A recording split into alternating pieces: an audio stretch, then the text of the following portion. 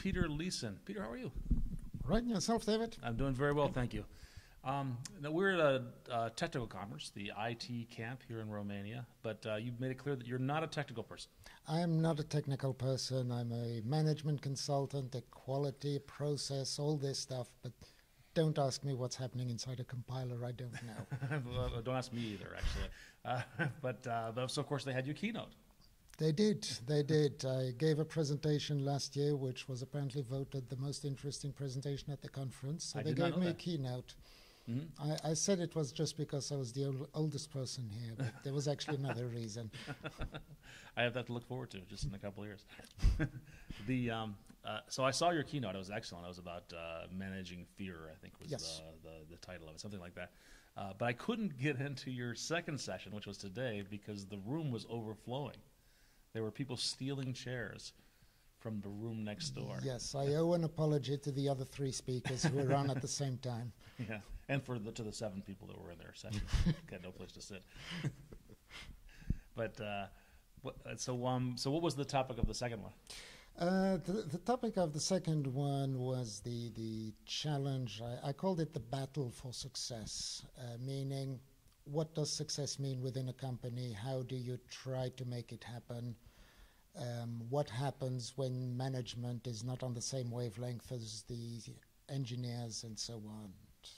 Hmm. Short term versus long term. Okay. Uh, so you're talking about cultural change within an organization. Yes, cultural change. So um, very, I'm a, I, I'm a very strong believer in the fact that if you uh, develop a quality product and you develop a quality product all the way through the life cycle, you are signi- significantly reducing both the cost and the time to market.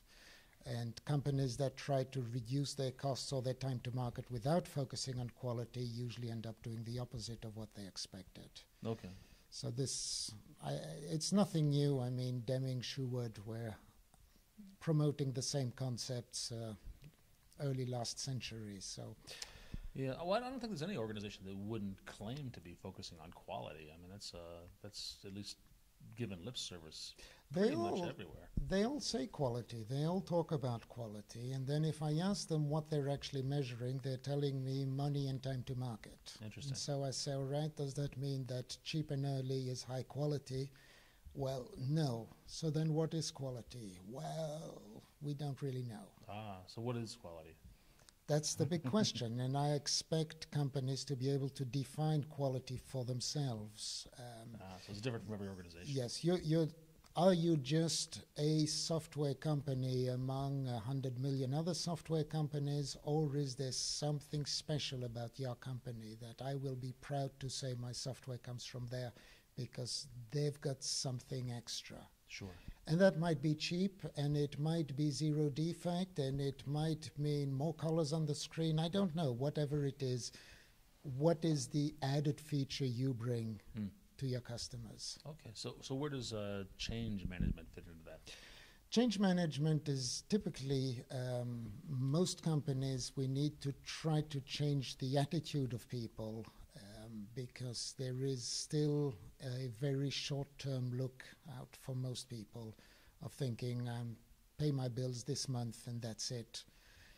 Um, I again heard today about a company where management is pushing to start development as soon as possible rather than thinking it through before starting. And therefore, people are busy working on three different projects at the same time Mm. because if you've started earlier, then you'll deliver earlier. And that's not true.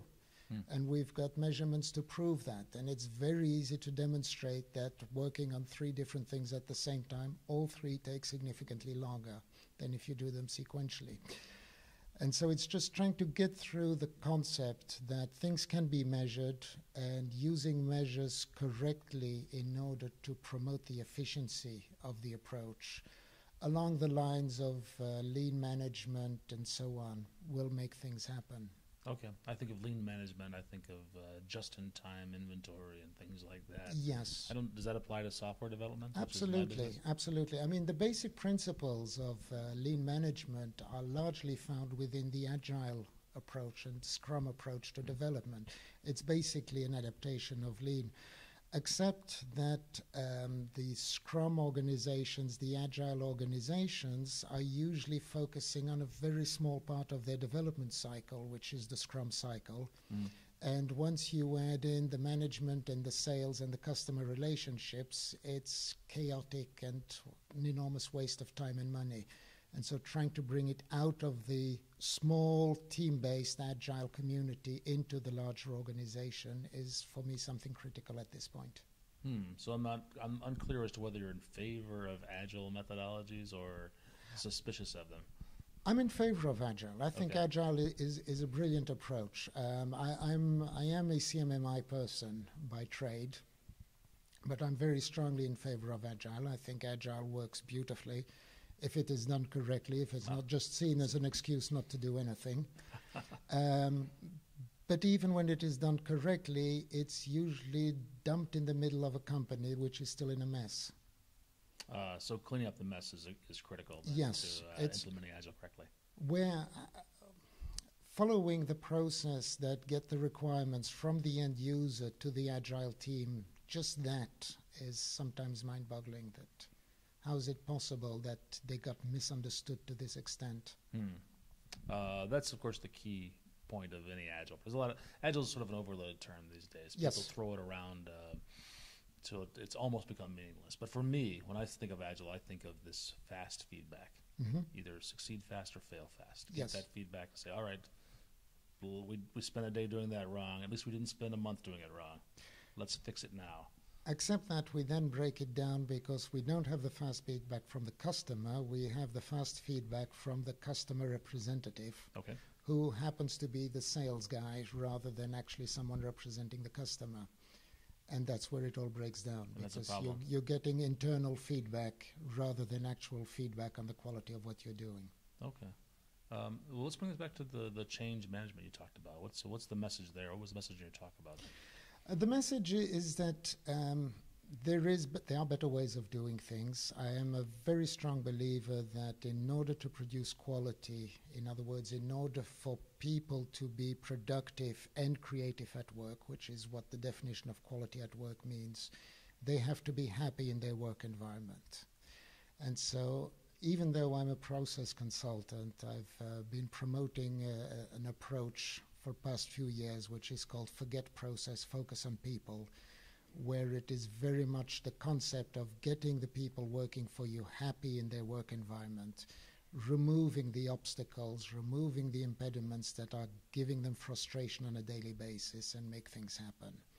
Now, this is a message that doesn't come across very well to management in most companies Mm. who uh, still have, um, I don't want to say slave labor, but it's still very much a concept of you just do your job and deliver a product Sure, rather than think- thinking about think being happy. The the the salary, the wages are sufficient incentive Yeah. to do whatever they're told. Yes, and salaries are never an incentive. That's Yeah, they're. Uh, I don't want to say. I don't want to dismiss them. I mean, everybody needs to. oh, they need it. They need it. Uh, It's the first uh, thing you need is a living wage. I mean, it's a- a, salary to allow you to live comfortably, to feed your family, to have proper education, and Mm. uh, to pay your taxes. So once you get that level of uh, Maslow's pyramid, yeah. then it becomes less of an incentive. Yes, I actually used within the talk the um, Maslow's pyramid on your uh, business needs, Okay. which works very nicely, and which ends up at the top level of trust between management and staff. Mm.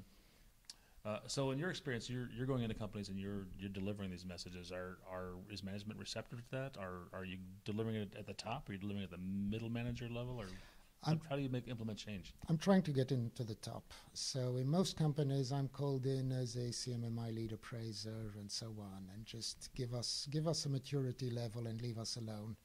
And then I start talking to them about what is actually needed, and I try to get up to the top. Um, I would say that over half the management teams I talk to are well receptive and actually are happy to listen to what I'm saying and to try and make something happen and understand the principles of quality as I'm trying to push it. Some of them are not. And if they're not, then I try to get the staff to change things from the bottom, I see. which is perfectly possible Sure. of trying to improve your own work environment. Uh, rather than just laying out, rolling over and playing dead and saying, okay, I'll, I'll let them beat me up until I find another job. Now that's an interesting question. So I think a lot of my viewers are not CEOs. They're just they're doing their job. They come to work and uh, but they may want to change things. What what can people do to improve the quality and of uh, their own work conditions? Um, first of all, focus on the value that you're creating.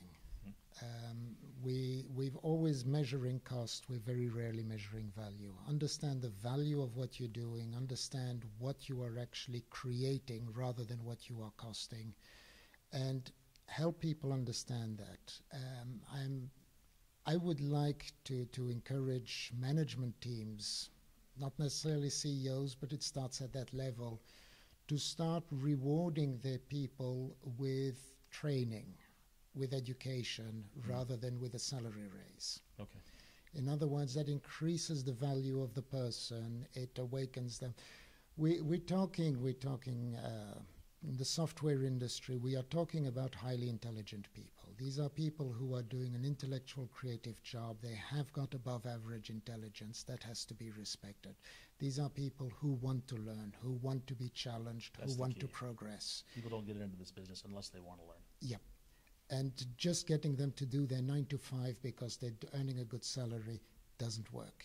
Uh, bored software developer will not produce any good work. You have to keep the right level of stress so as to challenge them, to push them a little bit further, to educate them, to give them something they want, and not just the minimum they need to do their job. Okay. Um, is there anything we haven't talked about? We should have. Oh my God, you want me to talk for the next three days? I can do that. Um, I have a plane to catch in three days, so probably not. uh, but are you now? I know you're speaking about these topics. Are you writing about them as well? I do have a blog, which. Um, you say that like it's not up to date. Is that? oh, it is, it is, Okay. it is. No, but the, the thing is, I have been speaking for the past five years about the famous book I'm writing. and, oh, uh, the book. It's still, it's still just a concept. Okay. Um, So where's blog? slowly, slowly, it's coming together. Um, I, I think I've generally got the flow now as to what I want to put in it. Okay. So uh, I hope to get it. But otherwise, the blog is at my website at qpit.net. Excellent. Peter, thank you very much. Thank you.